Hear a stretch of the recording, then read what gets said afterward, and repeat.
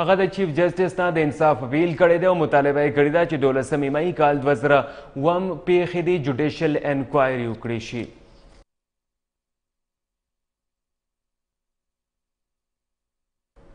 د ثوابۍ ټوپۍ علاقه کې د عثمان او ګدون خلکو تر منځ یو لویه جرګه شوې ده چې پکې د انجنیر سرفراز خان او خانزاده شهنواز ته عوامي نیشنل پارټي له طرف نه اول ورکړی شوی او بیا واپس اخیستل شوی ټیکټس په معامله مذمتی قرارداد پاس شوی دی.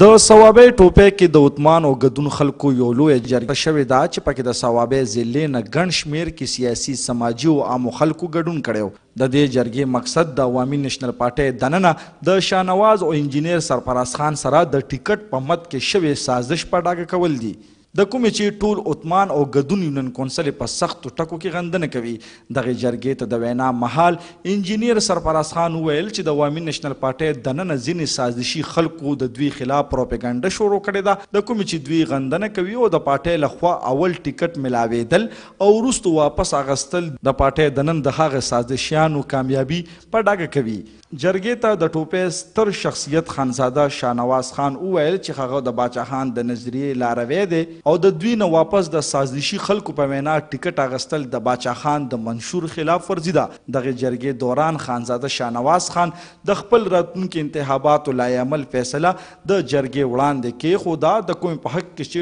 ټوله جرګه د شانواز خان د ملاتړ اعلان وکړو او راتلونکي الیکشن کې ورته د ملګرتیا پوره پوره باور ورکړی. ټکټ ورکول نه ورکول دا بې شکه د پارټۍ خپل استحقاق دی، د پارټۍ اختیار دی، خو زما تړون زما پارټۍ سره د آئین لاندې دی. ما ته دا ویل کیږي چې ته غلامي وکړه، زه غلامۍ نه انکار کوم، زه غلامي د هیڅ چا نه منم او آئیني تړون منم او چې زموږ پارټي مشران د پارټۍ آئین خلاف فیصله وکړي نو نه پوهېږم ما ته بله لار کم ده زما په دې فیصله کې پارټي آئین د پارټۍ آئین خلاف ورزي سره سر پارټي په خپله کړې ده او په دې باندې ما اپیلټ بورډ ته ډیر آئینی درخواست لیکلو چې کوم اپیلټ بورډ زما مخامخ ومنه چې ستا د مطالبه ستا د اپیل دا بالکل آئینی دی هغه اپیلټ بورډ ډیر بې اختیاره و چې هغه یې اړو فیصله ونه کړای شوه. خو زموږ دا ځل دا یو مطالبه وه چې د قومي اسمبلۍ سیټ به دا ځل په پي کې چتیس چې کومه زړه حلقه وه په دې کې به ورکوي لیکن ټکټ ورکړي ټکټ دوی بیا دوباره واغسته او هغه ټکټونو اغستو باندې نن دا خلک ټول راجمع او احتجاج یې کاو. څرګند دې وي چې د جلسې په رنګ کې جوړې دغې جرګې ته پخوانی وزیر تعلیم معراج همایون او نور د سیاسي ګوندونو خلکو هم وینا وکړه او د عوامي نېشنل پارټۍ له خوا د خپلو ملګرو سره شوې زیاتې یې په سختو ټکو کې غندلې دي. د کېمره مېن کامران دوراني سره ملک اسماعیل، خیبر نیوز، ټوپۍ صوابۍ. سپریم کورټ کې نن د اهم کیس سماعت کیږي بنیګالا کې غیر قانوني تعمیرات متعلق عدالت عظما کې نن د کیس سماعت کیږي دې نه علاوه بلوچستان نجي میډیکل کالجز محفظونه حوالې سره هم د اهم کیسونو سماعت کیږي نور اپڈیٹس پر آگئی نمائندہ خیبر نیوز عظیم صدیقی جی عظیم صدیقی سپریم کورٹ کی نند اہم کیسز سماعت کی گی سا معلومات دی سو سر مدثر حیرانتیا په دې باندې چې اتوار ورځ ده پرون کراچۍ کې سماعت شو هغې نه بل پرون تاسو قتل کوئټه بیا پېښور خو اتوار پر ورځ دا تقریبا دویم یا دریم ځل دی چې کله نه دا چیف جسټس راغلی دی نو دلته به سماعت وي درنګ ساعت ته به شروع کیږي یو خو دا ده چې پنجاب کې د پولیس آفیسرز کم پروموشن مسله وه د هغې حوالې سره د کیس سماعت شوی دی تقریبا څه پنځلس ځله سماعت شوی او د هغې فیصله به نن کیږي دوه کسي بینچ د چیف جسټس په مشرۍ کې بنیګاله کې یو از خود نوټس اخیستی او د چیف جسټس میا ثاقب نثار چې بنیګاله کې ډیر زیات سیند په غاړه تاسو ورته ویلی شئ راول لیک ورته ویلی شئ کوم جهیل دی هغې په غاړه ډېر زیات تعمیرات شوي دي نور چې چېرته تاسو ګورئ دا تعمیرات شوي دي نو د هغې از خود نوټس و د هغې سماعت شوی دی تقریبا څه دیارلس زره د هغې کې عمران خان د کور حوالې سره د نقشه هم تاسو ته به پته وي چې هغې کیس کې راغلي وه د هغې سماعت به هم کېږي کم پرایویټ میډیکل کالجز دي او ډیر زیات فیس اخلي بلوچستان کې مخکې د دې کوئټه کې سماعت شو اوس اسلام آباد کې به کیږي درنګ ساعت ته به دا سماعت کیږي اهم کیسونه دي یقینا چټیم رزم ده خو دا د چیف جسټس په مشرۍ کې تقریبا څه نه نیمې په کم لس بجې به دا سماعت شروع کیږي مدثر ډیره مننه عظیم صدیقي تاسو موږ له معلومات راکول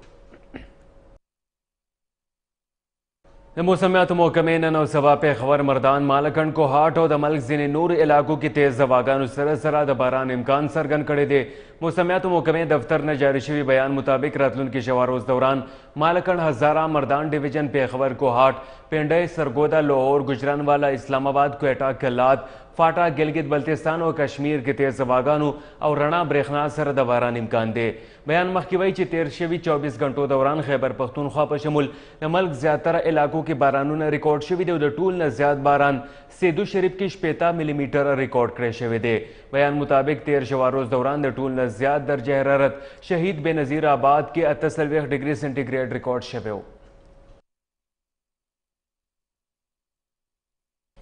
پیښور ورسک روډ فاټا کالونی نه تیر یو کال راسی محکمه سوی ګیس ته ګیس سہولت کټ کړی دی چې لوجی اخر فاټا کالونی اوسیدونکو په احتجاج باندې لاس پورې کړي د باجوړ ایجنسۍ مامن تحصیل په موخه سیمه کې طوفاني باران له وجې د یوې مدرسې چت غورځېدلی دی د پېښې سمدستي وروسته پولیټیکل انتظامیې او د پاک فوج اهلکارو امدادي کاروايي کړې او ملبې لاندې ګیر شوي کسان یې راوستو وروسته ښار هیډکوارټر هسپتال ته منتقل کړي دي. دې پېښه کې اووه کسان په حق رسېدلي او شپاړس یې ژوبل شوي دي. مړه او ژوبل کسانو کې د مدرسې ماشومان هم شامل دي. بلخوا بارانونو او سیلۍ له وجې مختلفو سیمو کې د کورونو دیوالونه هم راغورځېدلي دي. دغه رنګ طوفاني بارانونو له وجې سیلابي نالې راوتي او د ټیلیفون نظام هم خراب شوی دی. بارانونو او تیزې سیلۍ د خیبر پښتونخوا او فاټا نورو علاقو کې مرګ جوبله اړولې ده خیبر ایجنسي اپردیر نو ښار او مومن ایجنسي کې د چت غورځېدو ګاډي چنګېدو او تندر پرېوتو له وجې درې زنانه په شمول لس کسان پاک رسېدلي د فاټا سکرټریټ لخوا جاري شوي بیان کې ویل شوي دي چې د خیبر ایجنسۍ په لنډي کوتل سیمه کې سیلابي ریلې څلور کسان وړي دي چې پکې دوه تنه په حق رسېدلي ولې دوه کسان بچ کړی شوي دي دې نه علاوه د ګاډي جنګېدو پېښه کې هم دوه کسان په حق رسېدلي دي. د محمد ایجنسۍ صافي تحصیل کې تېز باران او طوفان له وجې د یو کور چت راپرېوتی چې په نتیجه کې یوه زنانه په حق رسېدلې ده. د نوښار خیشکي بالا سیمه کې د بجلۍ تندر غورځېدو له وجې یو تن په حق رسېدلی دی. دغه رنګ کوز دیر کې دوه ګاډي خپلو کې جنګېدلي چې په نتیجه کې دوه زنانو په شمول څلور کسان په حق رسېدلي او څلور ژوبل شوي دي. د شانګلې يخ تونګي سيمه کې هم يو ګاډی ونه غورځېدو له وجې يو تن په حق رسېدلی او شپږ ژوبل شوي دي. پېښور ښار او خواوشا علاقو کې تیز باران سره سره ګلای هم ورېدلې ده چې ورسره ولاړ فصلونو او مختلف قسمه میوې بوټو ته نقصان رسېدلی بل طرف ته موسمیاتو محکمې پېښور کې د نور باران امکان څرګند کړی دی پېښور ښار او خو شا کلیوالو سیمو کې یو وارې بیا د تیز باران سره ګلۍ هم شوې ده چې په نتیجه کې ولاړ فصلونو د میوې باغونو او بیا په خاص توګه د غنمو فصل ته هم ډیر زیان رسیدلی دی او دغه شان د زیات باران له وجې مختلفو علاقو کې ونې بوټي هم راپریوتي دي خو له څه قسمه ځاني زیان پکې نه دی شوی بلخوا پېښور کې د موسمیاتو محکمې ویلي چې تر اوسه پورې پېښور کې تر درې ملي متره پورې باران ریکارډ کړی شوی دی او د موسمیاتو محکمې راتلونکي شواروس کې د نور باران امکان هم څرګند کړی دی بل خوا له زیات باران له وجې د نکاسۍ نظام هم ګډوډ شوی دی او باراني اوبه کورونو ته ورننوتي دي. د پرله پسې باران نه وروسته پېښور ښار او خوشا سیمو کې موسم هم خوشګوار کېدو سره د ګرمۍ زور هم مات شوی دی. سراج عارف، خیبر نیوز، پېښور.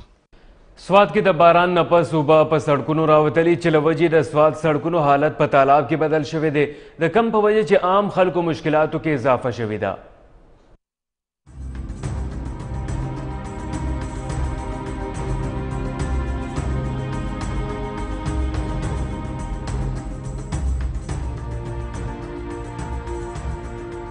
د طالب د منظر د سواد مرکزی ښار منګوري حجی بابا رحیم آباد او د خواو شاه سړکونو دی د کومي حالت چې دا وخت د یو باران سره په تالاب کې بدل شوی دی د ناقص نکاسي تنظیم په وجه د نالو ټولي اوبه په سړکونو راوتلې دي د کومي نه چې مقامي دوکاندارانو ته زیان رسیدلی نو بل طرف ته خلکو ته تګ راتګ کې هم لوی مشکلات پیدا شوي دي مقامي خلک وایي چې صوبایي حکومت د بدلون لوی دعوې کوي خو په اصل کې د بدلون صحیح معنی د یو باران سره پړاکه شوي دي کوم چې د موجوده حکومت لوی ناکامي ده تبدیلی خو دا اوس مونږ په روډ باندې رالو ګاډي مکمل ولاړ دي د ګن او د اوبو د وجې نه د اوبو نظام نشته دی د ایستو دا روډ د بریکوټ پورې والا ټوله اوبه اوبه ده پیاده سړی پکې نشي اغوسته دي عجیب هوا روډ باندې پیاده سړی پکې نشته دی یا رشکې پکې هم چې ډوبې روانې دي تاسو د مخې د دې خړو ته وګورئ لارو تکلیف دی باران شوی دی د عجیب هوا چوک کې ډېر ډېر غټ تکلیف دی ډېر غټ مشکلات دي زما تقریبا د درې چار لک تین چار لک مو تاوان وشو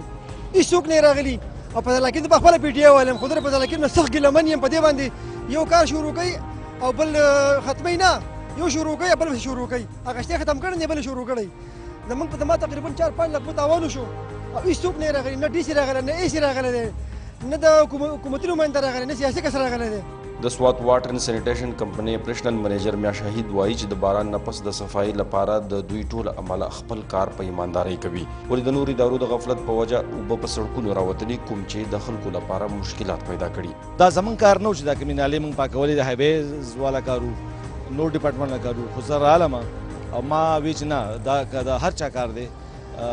دا به مونږ کوو او مونږ وکړو مقامي خلک وایي چې صوبایي حکومت د مینګوري ښار لپاره د بیوټیفیکیشن په نوم د یو ارب نه سیوا فنډ جاري کړو ولې د انتظامیې د نااهلۍ او غلط حکمت عملۍ په وجه بیوټیفیکیشن منصوبه د خوشحالۍ په ځای د سواد د خلکو لپاره د پریشانۍ سبب ګرځېدلي سعید الرحمن خیبر نیوز مینګوره سواد د باران سلسله راتلونکې څلور ورځو پورې به جاري وي او د روژې په اولنۍ ورځو کې به هم د باران امکان وي دا پیشنګویي کړې ده د محکمې موسمیاتو افیسر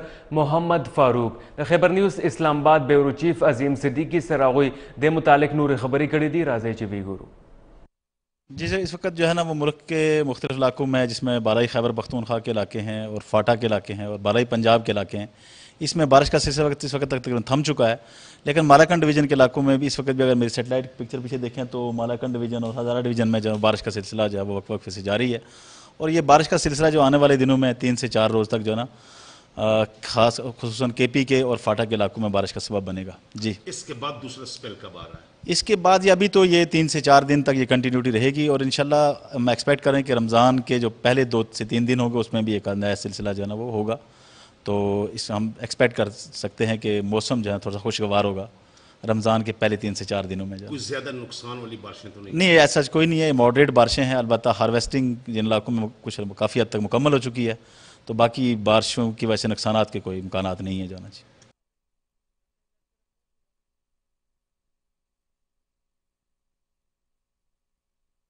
سابقه هاکي اولمپین منصور احمد د زړه د رنز له وجې نه په حق رسېدلی دی د منصور احمد جنازې مونځ نن کراچۍ کې ادا کیږي منصور احمد د خپل بیماری علاج لپاره وزیر اعظم پاکستان ته او هندستان حکومت ته د علاج خواست کړی و کوم وروسته چې منصور احمد پاکستان کې علاج لپاره قومي اداره برای امراض کلب قلب کراچۍ کې داخل کړی شوی ؤ ډاکټرانو وینا مطابق نن سهار د پخواني اولمپین منصور احمد حالت خراب ؤ د کمې رستو چې هغه آی سي یو ته منتقل کړی شو او هغه ته زړه او ګردو مشین لګول شوی ؤ ولې منصور احمد د زړه رنځ سره جاري جنګ کې کامیاب نه شو او پاکستان هاکي ټیم پخواني ګول کیپر د فاني دنیا نه رخصت شوی دی. خدای بخله منصور احمد پاکستان کې هاکی لوبه کامیابی طرف ته بوتللو کې مرکزی کردار ادا کړی دی د منصور احمد خدماتو حواله سره ګورو دا رپورټ One miss each. Oh, and Mansoor saved it brilliantly. It's all over. Pakistan have won the World Cup. منصور احمد کال 1980 نه تر کال 2000 پورې د پاکستان هاکی ټیم ګولکیپر سابقه کپتان او اولمپیان پاتې شوی دی هغه ټوله نړۍ کې د ملک او قام نوم روښانه کولو کې هیڅ کسر نه و پرېښی خدای بخښلي منصور احمد د ملک له خوا درې سوه اته دېرش نړیوال میچونه لوبولي وو چې پکې د نړیوال اولمپیک درې مقابلې او پرله پسې درې ورلډ کپ مقابلې هم شامل دي کوم کې چې کال نولس سوه څلور نوي هم ورلډ کپ ذکر لازم دی دغه ورلډ کپ کې منصور احمد شاندار ګول کیپنګ له وجې پاکستان ورلډ چمپین جوړ شوی و د منصور احمد په موجودګۍ کې پاکستان هاکي ټیم 12 ګولډ میډل، 12 سلور او اته برونز میډلز ګټلي دي. سابق اولمپین ته کال 1988 کې حکومت پاکستان لخوا آوټ سټینډینګ پرفارمنس ایوارډ او کال 1994 کې پرایډ آف پرفارمنس ایوارډ ورکړی شوی وو. منصور احمد کال 1999 کې آل ایشین سټار ټیم کې شامل کړی شوی او کال 1994 کې هغه ورلډ 11 ټیم برخه هم جوړ شوی وو. یوازې دا نه بلکې انټرنیشنل هاکي فډریشن 1994 کې خدای بخښلی منصور احمد د نړۍ بهترین ګول کیپر ګرځولی و منصور احمد کال 2000 کې د پاکستان جونیئر هاکي کوچنګ فرایز هم ادا کړي دینه علاوه هغه کال 2014 کې بنگلادیش هاکي ټیم کوچنګ هم کړي د پاکستان هاکي ټیم پخوانی ګول کیپر کپتان او سابقه اولمپین منصور احمد د هاکۍ میدان کې د ملک او قوم لپاره متاثر کون کارنامې به د پاکستان قوم تل یاد ساتي آصف علي خیبر نیوز اسلام آباد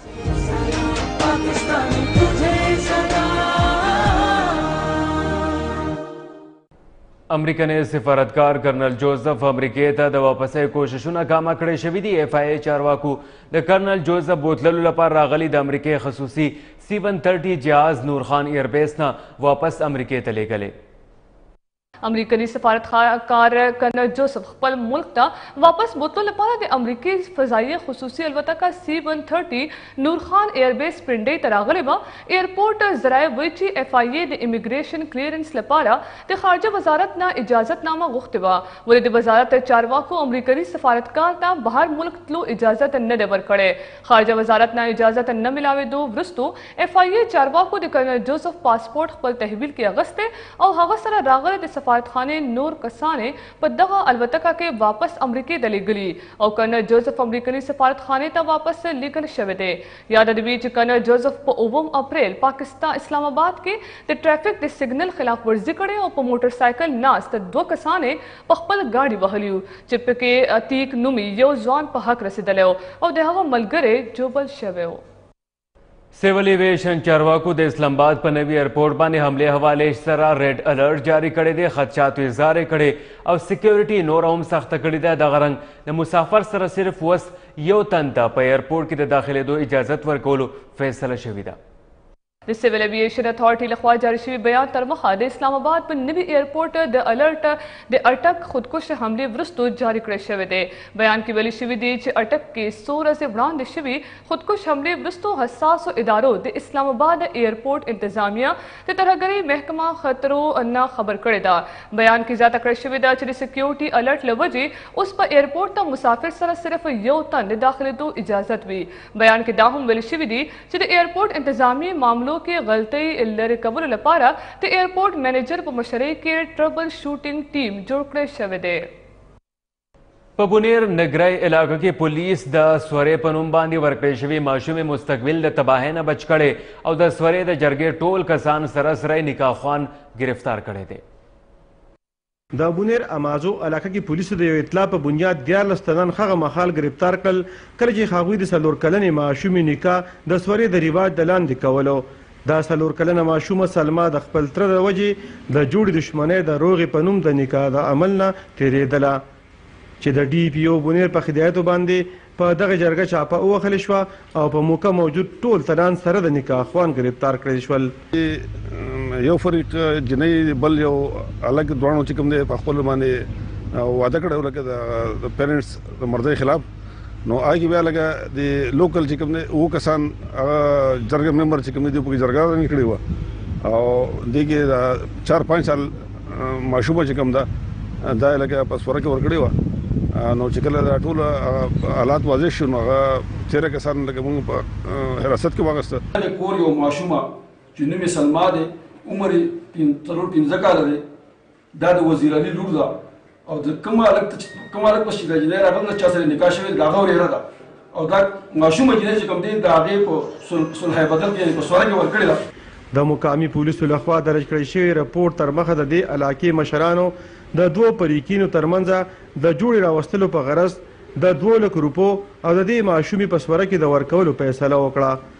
خو د پولیسو په وخت کارروی کولو په وجه د ناخبرې ماشومې ژوند بچ کړې شو. یاده دې وي چې د پښتنو په یو شمېر سیمو کې وس هم د سورې ناروا رواج موجود دی د کومې د لارې چې ماشومانې او پېغلې د خپلو روڼو، ترونو یا نورې نارینو کړې شوې جرم په یاداشت کې قربانې کېږي. شوکت بونیری، خیبر نیوز، نګری بونیر. لنډې کوتل نه پس مومن ایجنسي کې هم د لشمینیا بیماري خوره شوې ده یو نیم زر نه سیوا ماشومان متاثره شوي دي ذرایع وایي چې په هسپتالونو کې د لشمینیا بیمارۍ نه بچ کېدلو لپاره ویکسینز هم ختم شوي دي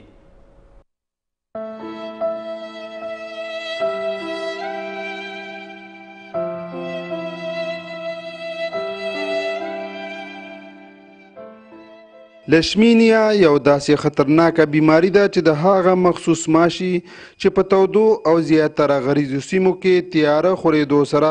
انسان ښکار کوي د دغه ماشي چیچلو نه وروسته د انسان په هغه متاثره حصه باندې دانه جوړه شي او د بروخت علاج نه کولو په صورت کې د دغه دانې سایز غټ شي او د زخم له کبله د انسان هغه متاثره ځای ډیر بدرنګ کړي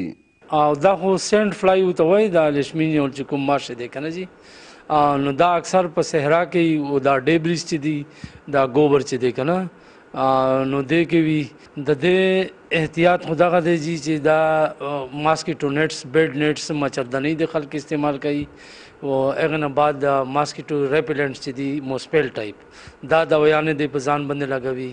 او هغه نه بعد چې کومه دو ټول وجود دی داسې کپړې دی اغندي چې هغه هغه وجود چې کومه دو بربند نه وي د بدقسمتۍ نه په مومند جنسۍ کې هم دا بیماري ډیره خوره شوې ده پړان غار او تحصیل ساپي کې په سوونو کسان چې زیاتره پکې ماشومان شامل دي د محکمه صحت لخوا د ایجنسۍ په مختلفو سیمو کې 15 سنټرې علاج د پاره قائم کړی شوې دي تر دې دمه تاسي ساپي مامد ګټ لکړو سنټر کې شپږ سوه نه زیات مریضانو ته علاج شوی، تحصیل پړانګار سنټر کې درې سوه څوارلس، ایکه غونډ کې څوارلس او غلنۍ سنټر کې د سلو پورې مریضانو ته انجکشن لګول شوي دي، خو ولې د انجکشنو د کمي له وجې اوس هم په ګڼ تعداد کې متاثره مریضان موجود دي، همدغه وجه ده چې د محکمه صحت او پولیټیکل انتظامیه د اعلی چارواکو نه د څلور سوو پورې انجکشنو چې پرې به د دوو زرو پورې مریضانو علاج کیږي غوښتنه کړې محکمه صحت او د متاثره مریضانو ورساو ویره ظاهر کړې که چرته زر تر زره دغه انجکشنې ملاو نشوي نو د نوي مریضانو سره د هاغه مریضانو علاج هم متاثر کېدای شي د چا چې اوس هم علاج شروع دی د کیمرامین اورنګ بابر سره فخر الله مومند خیبر نیوز مومند ایجنسی فاټا امینه شهاب الدین خان یو واري بیا د پی ای په ضد باندې احتجاج کړی دی د جهاز روټ بدلولو په معامله د نون لیګ پرې خودلو دمکم ورکړی ده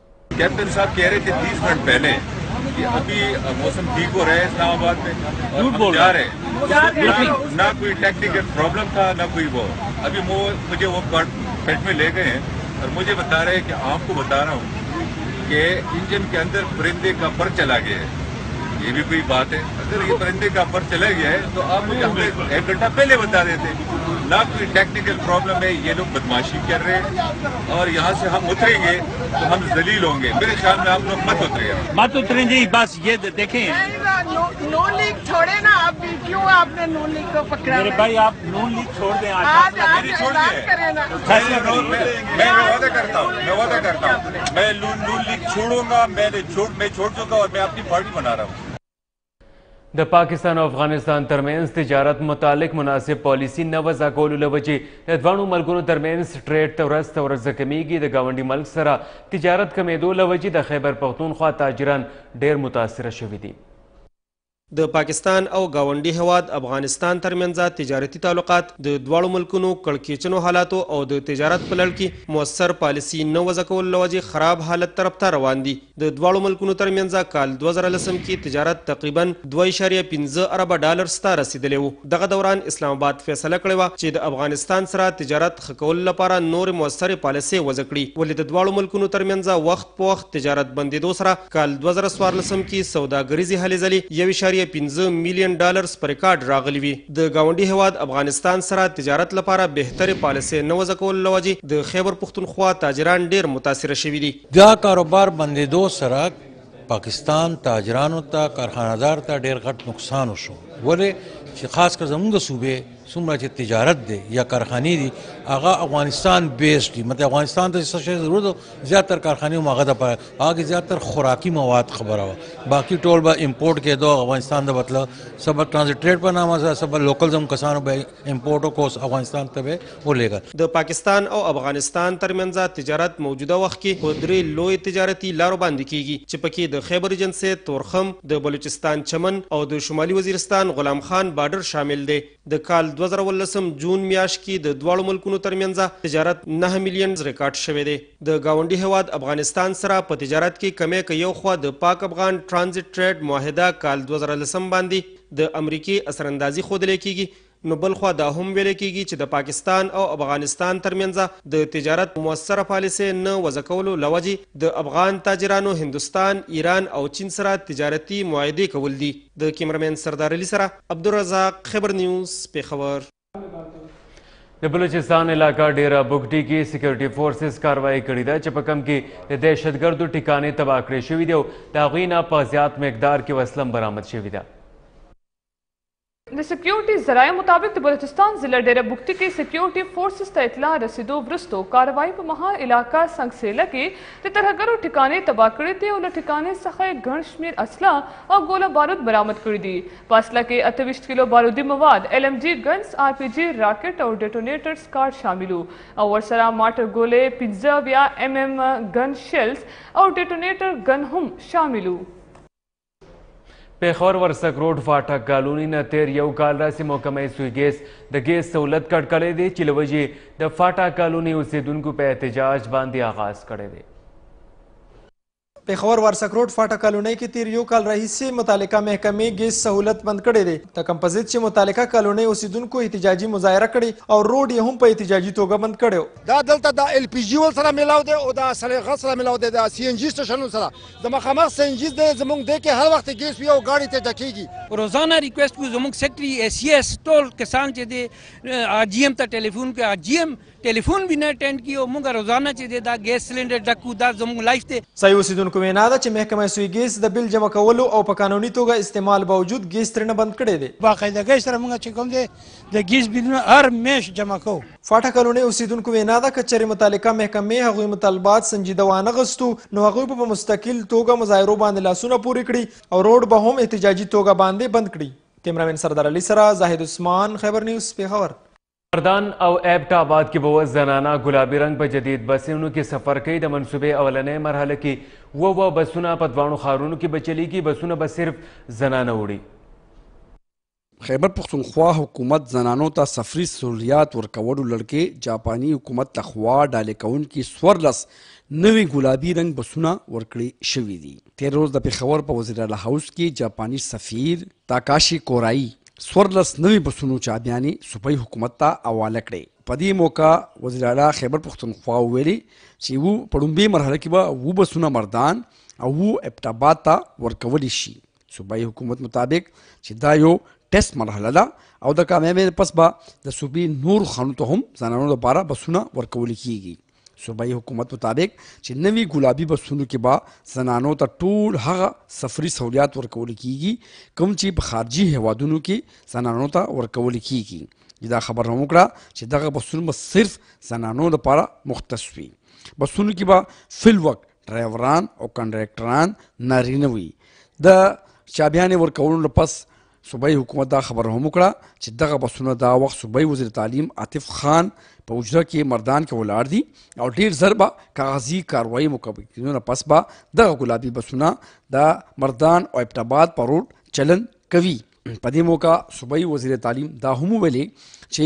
دغه منصوبه کچري کامیاب شوه نو بیا به صوبایي حکومت جاپان حکومت سره دې لړ کې نورې معاهدې هم کوي او د معاهدې مطابق به همدغه رنګه هر کال د صوبې مختلف ښارونو لپاره به نوي ګلابي بسونه راغوښتي شي کیمرمین محمد اصف قادری سره ویدرحمان خلیل خیبر نیوز پېښور ډیسټریکټ هډکوارټر هسپتال بټخیله کې د مریضانو نه پس وس ډاکټران سپارتال شوي دي ډاکټران وایي چې د مقامي ناظم صدام خلاف دې قانوني کاروايي وکړي شي چا چې د ډاکټر سعید په کور باندې حمله کړې ده او دغه رنګه قانون یې پامال کړی دی د ملکن ډي ایچ کیو اسپتال بړخیله کې د ډاکټرانو د هړتال له وجې اسپتال بند دی او مریضانو ته په علاج معالجه کې سخت مشکلات مخې ته دي د بړخیلي اسپتال ډاکټران هغه وخت په احتجاج سر شو کله چې اسپتال کې د مشتعل خلکو لخوا د یو ډاکټر په کور کاڼي او ډبري ورولې وو. تېره شپه هسپتال کې د ډاکټرانو د غفلت له وجې یو ماشوم په حق ورسېدو چې وروستو یې د ماشوم لوایقین او هسپتال کې موجود نور مریضان راوپارېدل او د ملکنډ مېن روډ یې بند کړو. مریضانو تور لګولی چې ډاکټرانو ته د بار بار اطلاع کولو باوجود ډاکټران د ماشوم علاج له نه راتلو چې له وجې یې ماشوم په حق ورسېدو د کومې وروستو چې د مشتعل خلکو له خوا د ډاکټر په کور کاڼي ورولې شو. بل اړخ ته د مریضانو احتجاج نه پس د هسپتال ډاکټران هم بد ګڼلي او اړتال سره سره یې د ماشوم د لوایقینو او نورو مشتعل خلکو خلاف اف آی آر هم درج کړی. هسپتال کې د ډاکټرانو د اړتال له وجې د او پي ډي سره سره ایمرجنسي هم تړلي چې له وجې یې هسپتال ته راغلي په زرګونو مریضان بغیر د علاج معالجې نه واپس تلي. سار راپه ایسته نه مسلمانان وروڼه راغلي دي نه ډاکټران شته نه دغه کیټونه یې اغیستي دي. او ښکته پورته منډې وهي، کله په روډونو پسې منډې وهي، دغه زموږ د بړخې د هسپتال حل دی، روډ ته دا راووتې ډاکټران نشته، خلکو ته تکلیفونه دي. بیماران یو ټول دا ټول خلک بیماران دي، زنانه ماشومانان راځي او بس دغه شان ځي او ژاړي. دغه موږ روډ ته اوس وروره لیو والا راشي هسې عوام منتشر کړي وروره ویس هم نشته، موږ عوامو ته او حکومت ته دا درخواست دی چې پلیز دې ډاکټرانو ته دې ووایي که داسې نه کړي پلې وړو دې راوباسي، ځینې فیصلې چې کوم دي کنه هغه په سخته باندې کیږي داسې په راحته باندې نه کیږي، دوی غټې غټې تنخواګانې له پوره ډیپټا نه کوي. په دس او په دس بجې باندې راشي او په باره بجې باندې دی څه کوم لکه پاسي ځایي خلکو غوښتنه کړې چې د بړخیلي اسپتال ډاکټران د مسیحا په ځای د ماپیا شکل اختیار کړی او د روزانه په بنیاد په اسپتال کې د ډاکټرانو د بدماشۍ څه ناڅه پېښه مخي ته راځي ولي بل اړخ ته خپل غفلت او کوتاهي منلو په ځای الټا په مریضانو او اسپتال ته راغلي خلکو سره غیر مناسب رویه هم د بړخیلي اسپتال د ډاکټرانو معمول دی. حکومت دې د بټخیلي هسپتال د ډاکټرانو او دلته روزانه مخي ته راتلونکو پېښو په اړه نوټس واخلي. عمران زریاب، خېبر نیوز، بټخیله. جنوبي وزیرستان کې وران شوي کورونو سروې کې د کرپشن او بدعنوانیانو په شکایاتو باندې کمشنر ډي آی خان عبدالغفور بیګ د فیز فور درې سوه یوویشت زره فارمونو سروې کینسل کولو حکم ورکړی او د څلور تحصیلدارانو په ضد د تحقیقاتي کاروايي کولو امر کړی دی. اکتوبر دوه زره نهه کې شروع اپرېشن راه نجات له کبله د محسود کام سیمه د کنډر په شکل کې بدله شوه، کورونه، ځمکې او کاروبارونه په مکمله توګه وران شول او د حکومت له خوا دې متاثره خلکو ته د وران شوي کور په مد کې یونیم لکو څخه تر څرلورو لکو روپو پورې معاوضه مقرره کړې شوه. فیز ون فیز ټو فیز تری وشوه ولې په فیز فور کې د ولس لخوا د کرپشن او د بدعنوانیو په شکایاتو باندې کمشنر ډي آی خان عبدالغفور بیګ د فیز فور درې سوه کلیو یوویشت زرو فارمونو سروې کینسل کولو حکم وکړو. د څلورو تحصیلدارانو په ضد یې د تحقیقاتو کروایي هم پیل کړې. بلخوا د کمشنر په دې ګام محسود قام یوه لویه جرګه کړې او جرګې پر مهايل ویل شوي چې دغه محسود قام سره سراسر زیاتوب روان دی. چې دا سروې دې کینسل کولې دو چا کینسل کوي او زویر وښایو هکه په فوج شوي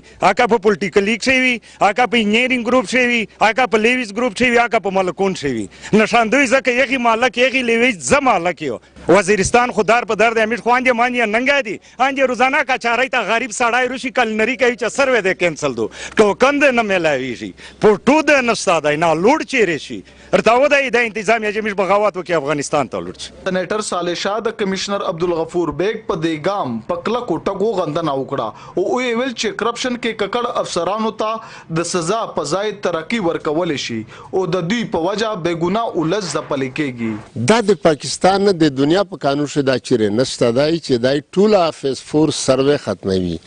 او دا د کمشنر نه هم د مشرا په دې غوندې ګیلاد او احتجاج دی چې کمشنر صاحب خو تو انکواري په شپږ کلیه وکړه د شپږ کلیه انکواري باندې تم هغه نیولای نه دا چې ته په ټوله کلیه باندې چې ته دا ټوله سروې خاتمه کې د محسود قبایلو وینا ده چې دوی د ملک سلامتیا لپاره قربانۍ ورکړي او اوس مهال وران شو کورونو په معاوضه کې دوی سره روان زیاتوب د دوی په حق باندې ډاکا وهل دي نصر اعظم محسود خیبر نیوز تانک همداو د دې وخت اهم او خاص خبرونه د نور خبرونو اپډیټس لپاره تاسو وزټ کولی شئ زموږ ویب سایټ خیبر نیوز ډاټ ټي وي راتلونکي نیوز بولیټن پورې مدثر حسین له اجازه ورکړئ الله پامان